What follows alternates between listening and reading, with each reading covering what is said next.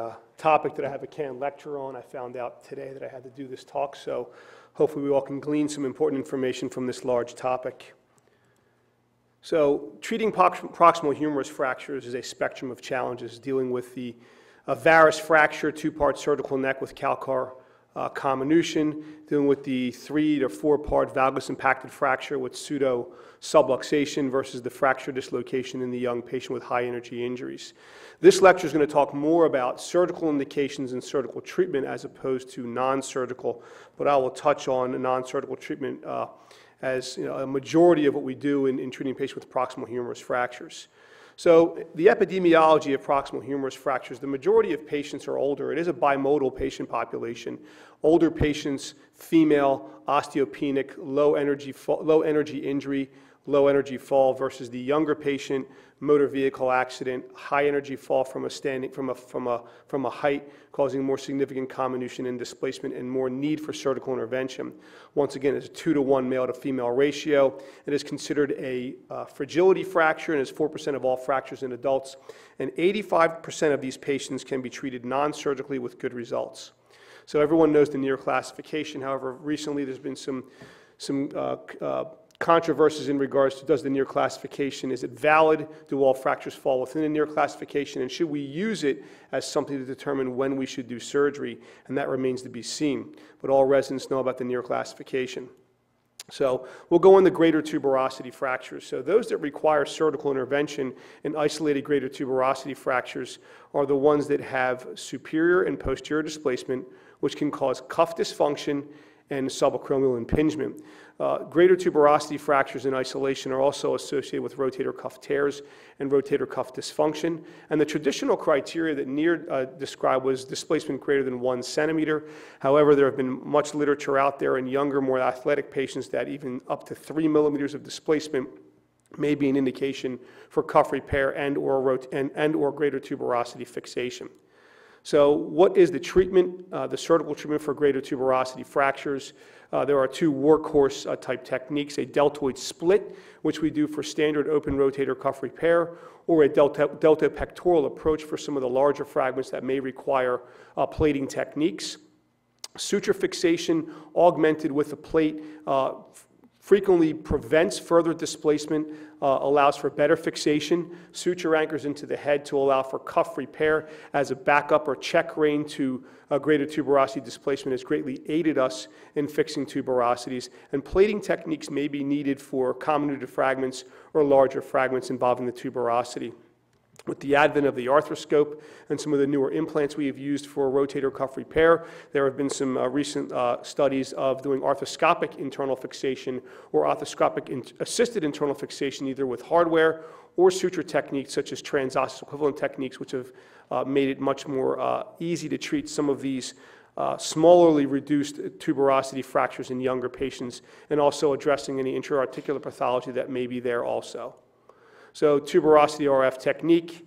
A lot of the younger residents now probably have never seen an open cuff repair, but there is a deltoid split. You find your lateral border of the acromion, you identify your axillary nerve, you make sure you're less than five centimeters from the split to prevent axillary nerve injury. You identify your fracture, you place multiple sutures through the groove and through the bone and also through the tendon itself and do a rotator interval closure, which allows you for good fixation of a tuberosity fracture. Then we go into two-part fractures of the cervical neck, the ones that are more amenable to uh, internal fixation, the ones that are comminuted, which prevent a stable reduction. They usually require fixation. Uh, and medial comminution, which, which allows for calcar insufficiency, varus malalignment, which is not tolerated properly, and tuberosity uh, prominence, which allows for subacromial impingement. Those are the patients that will require surgical intervention in the two-part cervical neck fracture. So here's another patient, as you see here. This is a two-part cervical neck fracture. Uh, on the axillary, it doesn't look so bad, but if you look here, you see some calcar comminution. You see the sagittal, the axillary alignment's fairly good, but on the AP, you have varus tipping, calcar comminution. This is not amenable to closed techniques unless they're much older and infirm. Three-part fractures. The issues with treating three-part fractures that are displaced are malrotation of the head on the shaft and also malrotation of the tuberosities causing for cuff dysfunction and poor rotation and function to the shoulder. You have to maintain your head-height relationship to prevent subacromial impingement and also to allow for cuff function properly. And varus is not tolerated as well as valgus is tolerated. So if you have someone who's in varus, that's someone you may want to consider more aggressive surgical treatment as opposed to those patients that are in valgus. The classic four-part fracture, who do we fix? Do we fix those that are young? They have a higher rate of uh, AVN. They're also associated with fracture dislocations. The younger patient with the blasted proximal humerus with an articular segment or head split uh, fragment may require arthroplasty. And in the elderly patient with the four-part fracture or the four-part fracture dislocation due to the poor blood supply and poor bone may be required for reverse shoulder arthroplasty. This lecture will also talk more about internal fixation techniques. When We'll only briefly talk about arthroplasty later on in the lecture. So the valgus impaction fracture, that does not uh, fall into the Neer classification. It was identified uh, by the Germans uh, as a fracture that falls outside of the guidelines and is a different type of animal as a true four-part fracture. Why is that? The medial hinge is usually intact, meaning the blood supply to the proximal humerus is usually intact. If you see here, the head is sitting up to the ceiling, which will make you think that the, this is a four-part fracture, but the medial hinge is intact. Here's our lesser tuberosity, so the head sits low, the tuberosities stay in place, and you can see uh, abnormality with the tuberosities to the head. But when the hinge is intact, the blood supply is intact, so your risk of AVN is lower. And there are special considerations for treatment. If you can get it to it within 10 days, percutaneous techniques can be utilized.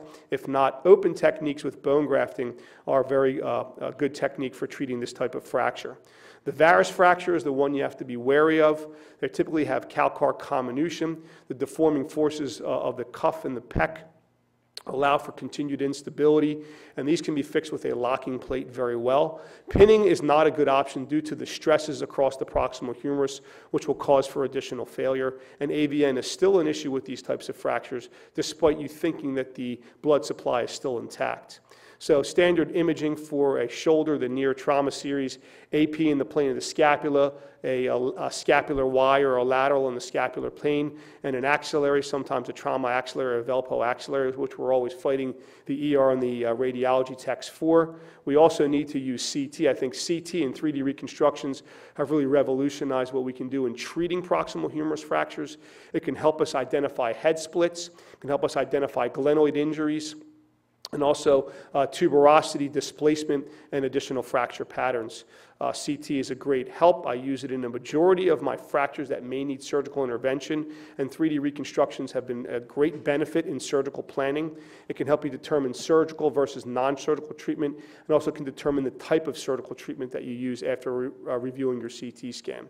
So predicting humeral head ischemia is extremely important. Ralph Hertel in JSES in 2004 gave us three criteria that can give us up to 97% predictability of AVN. If the length of your medial calcar segment is less than 8 millimeters, if you have loss of the uh, medial hinge showing instability of the proximal humerus fracture, and if you have an anatomic neck fracture, if all of these three are shown to be on your uh, fracture patterns, then your risk of AVN is 97%, and it may guide you into treatment for these patients.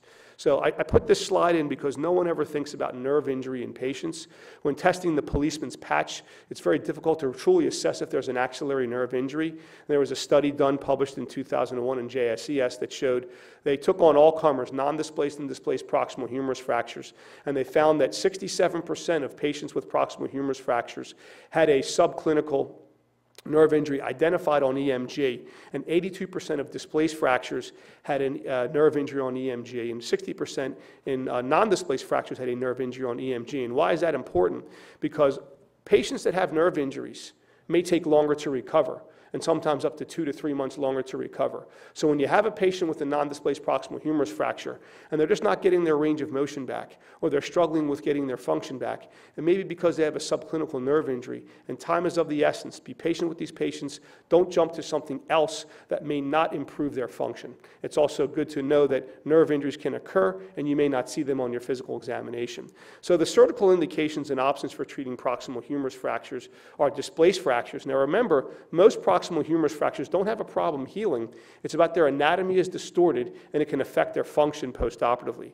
The options are ROF, RIF with pinning, locked plating, arthroplasty options such as hemi or reverse, or rodding techniques. The Europeans have been very uh, instrumental in, in devising more rods. I'm not a rod person, but the rod is out there. So percutaneous pinning, who are the patients that you can fix uh, these fractures with? The indications are select two and four parts. Truly the two-part cervical neck fracture in the young patient with good bone, or a four-part valgus impacted fracture that you get within four days or within 10 days are the ones that you want to consider for percutaneous pinning. You want to avoid varus fractures because the forces are too great. You want to have reasonable bone. You don't want to use them in the osteopenic patient. And you want to use it in the appropriate patient that can follow post-op guidelines. So here's a four-part valgus impacted fracture. How do we know that? Head sitting up to the ceiling, lesser tuberosity here, greater tuberosity uh, there. Tuberosities are prominent. Here we are under fluoro, using, uh, working through our fracture planes and percutaneous techniques to get uh, reduction techniques using TAMPs. We can use pins along the calcar to stabilize the fracture and various pins and screws to stabilize our final construct. The issues with uh, percutaneous pinning is it can have loss of fixation. Patient compliance isn't the greatest, and especially if you use it in poor bone. So perc pinning is a viable option in certain fracture patterns, two-part cervical neck and good bone, uh, or uh, four-part valgus impacted fractures that you get acutely. You can get AVN in these patients up to three years post-op. So what are the other surgical options? This is a great technique devised by Dr. John Fenlin, who was one of our uh, founding fathers of shoulder surgery, especially here in Philadelphia. The parachute technique, we use it in selected two-part fractures of the cervical neck in the elderly that do not have a significant amount of comminution. It's a valgus impaction osteotomy, where you jam the shaft up into the head and valgus. He used Dacron tape. I used number five Ethibond with shaft fixation and these patients have tended to heal very well. There's no implant uh, uh, complications, and there's no hardware complications. So if they were to fail this, there's no pins or screws floating around in the shoulder or articular abnormality that could cause even further damage to the patient's shoulder. So plate fixation of proximal humerus fractures, do they always work? So the historical plating was either blade plating techniques or some of these clover plates or T-plates. We found that they weren't strong enough to, to take care of the fractures. AVN rates were high and non-union rates were high. So locking plate fixation came out in the late 90s and early 2000s when I was a resident. Initially the Philos plate uh, in Europe. They basically were lock screws into the head that acted as small little blade plates. You could strip the tissue less. You had a contoured plate to the proximal humerus. You had multiple sites of fixation, which gave us a, a better way to treat the, the stresses across the shoulder. However, you still need an appropriate reduction. So uh, I tell people that this is the Indian, not the arrow, that makes this fracture work. Uh, the implant does not fix the fracture. The surgeon fixed the fracture. Uh, Jack Nicklaus can go out and play any golf course with persimmon woods and shoot par. And any schlep that can go out there with a $2,000 bag of golf clubs can shoot 50 over par because he stinks. So it's important for you to do the surgery properly, technically, and then your, your instrumentation and your plates only augment your abilities as a surgeon. So you have to reduce these fractures. So current indications for locking plate fixation, displaced two, three, and four part fractures, varus fractures, valgus impacted fractures that are too late for pinning, historically based upon the literature, 10 days, osteoporotic fractures, comminuted fractures, and failed non-op treatment. So beware of the varus fracture. There is calcar comminution and deforming forces which make it non-able uh, to be treated with pins or, or with uh, conservative treatment. They have a high rate of varus collapse and screw cutout, so these require locking plate techniques. So which plate do you use?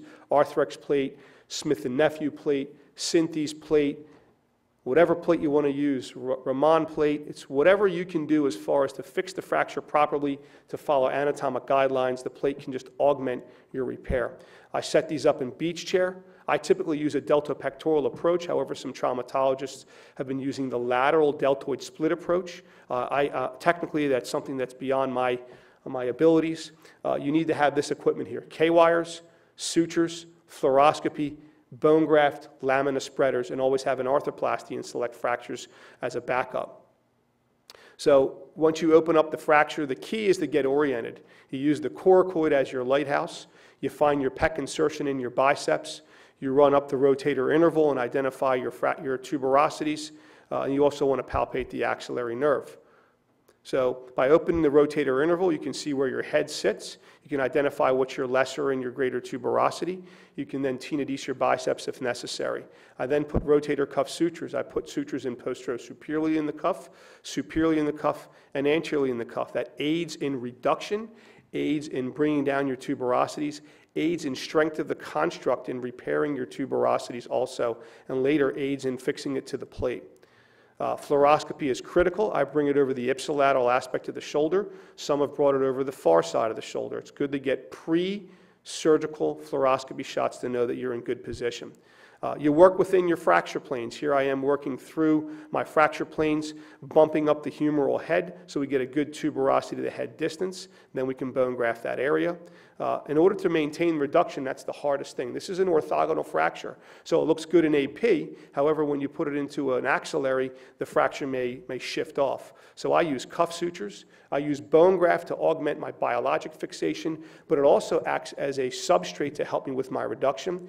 I use preliminary K-wire fixations, and I use the plate with indirect techniques. Later on, I'll talk about some techniques that I've been using which aid me in my reduction of these fractures. You need to restore your relationship, so anatomic is best. You are fixing these to restore the anatomy, not just to do an open reduction internal fixation. Don't do an OIF. You have to correct your inclination, get them out of varus. You have to restore your version to prevent rotational abnormality. You have to restore your head to tuberosity distance to prevent cuff dysfunction and subacromial impingement. And if there's comminution, reconstitute your calcar and use an implant that's strong enough to offset the, the forces. So Locking screws in the head, you have to have in good bone. Make sure you tap, tap, tap to feel good bone. You want to use a long enough screw to capture purchase, but you don't want to use someone that's too long and cause intra-articular penetrance. You can do about 45 to 50 millimeters on most screws, and you want to take off about 4 millimeters of the screw from the K-wire that you use to the head. Your kickstand screws are crucial. You need one or two along the calcar to prevent calcar failure, and you also want to use an implant that's long enough to offset your calcar instability. Your screw placement, they should be splayed into the head so you have good, so you have good purchase, kind of like in the hip. You want to make sure they're splayed into the head and neck to offset rotation. And you want to make sure you don't penetrate the joint. The posterior-superior screw is the one that typically is uh, penetrance. You want to keep those a little bit shorter. You want to check your fluoro and extreme rotation. If you've opened up the interval, you can stick your finger in the interval and try and feel for screws. You can rotate the shoulder and check for crepitance. And once again, Take about four millimeters off of your K-wire measurement to prevent settling of the fracture, late uh, uh, intra-articular penetrance, and also posterior superior uh, uh, penetrance. So the critical step is your tuberosities. Keep it out of varus. I typically put sutures through the plate, and your final suture construct is sutures through the cuff, sutures through the plate, which allow for soft tissue repair, cuff repair, and bony repair. So case example here is someone with an articular fracture. We've reduced the, the uh, neck shaft angle, we reduced the tuberosity, we placed bone graft, we have good calcar screws and good splay of our screws, giving us a good strong construct. So once again, here's another fracture, indirect reduction techniques. Bone graft, we used our plate to reduce our fracture. We have screws that are long enough, reconstituting our calcar. So post-op protocol is sling for six weeks. I start range of motion at around 10 to 14 days. Passive range of motion, re-x-ray every two weeks to prevent displacement. At six weeks, active range of motion, strengthening at three months, and I tell all my patients it takes one year to gain their maximum function. There are numerous studies that have shown good results with locking plate uh, techniques. However, complications can occur, and they are numerous. Osteopenia, lack of reduction, settling, intra-articular penetrance, AVN, glenoid injury, DJD, tuberosity escape, and it can occur secondary to the fracture due to the bone and due to the indian. So uh, and injury in 2011 gave us some predictive uh, values with locking plate fixation, and he found that patient age, bone mineral density, and medial calcar reduction and varus displacement or persistent varus increase your risk of failure of internal fixation. So surgical techniques are based on age, bone stock and activity. If you're plating the patients, make sure you need to elevate your angle to restore the neck shaft angle. Bone graft these from a biologic substrate reason and also to assist you in your reduction. You need to reconstruct your tuberosities. I use multiple sutures in the cuff, in the shaft in connection to the fixation device. Bone graft substitutes are extremely important. Bone peg devices in certain circumstances. Trauma docs love using IM uh, grafts, but sometimes these can cause further difficulty with late uh, reconstruction with arthroplasty. And make sure you don't use too stiff of a construct. Don't put locking screws all the way through. You will make your construct too stiff and increase your risk of failure. So here's a patient who's 52, three-week-old, four-part proximal humerus fracture with, with uh, extension into the shaft and a large calcar fragment. Here I am working. Here's her head. Here's her tuberosities. Techniques uh, elevating the head. Bone graft was placed. I then reduced my calcar and my shaft with a screw. had the tuberosity distance and the arch is preserved. Then I slapped the plate on long enough construct to stabilize the fracture. So with locking plates, these are still difficult to treat. Not all fractures need a plate. There's a high rate of complication, especially in the elderly osteopenic patient. So my evolution in some of these patients is to be doing an orthogonal plating technique.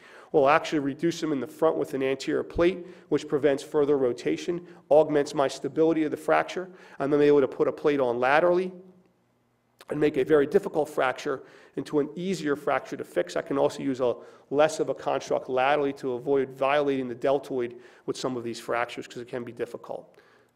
So in conclusions, locking plates have allowed for evolution of treatment. We can use less arthroplasty. Reduction is still critical. You have to respect the deforming forces and don't perform an OIF. So when do we do hemi for fracture? For me, I usually use it in a very limited focus, a younger patient with a, head, with a four-part fracture or a head split. And with hemis, it's all or nothing. If they heal their tuberosities, they do great. If not, they have no pain but no function. So what do I do? I'm very conservative with proximal humerus fractures. The pendulum for me is swung more towards conservative, uh, especially in the elderly patient. I reconstruct as many as I can, meaning I fix as many as I can. I stick with my surgical techniques based upon anatomy and avoiding deforming forces.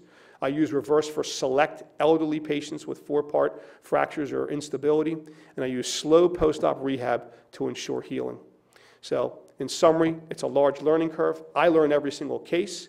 Fluoro is the key. Plain x-rays tell most of the story. Restore your re relationships, counsel your patients, and operate on the right patient. Thank you.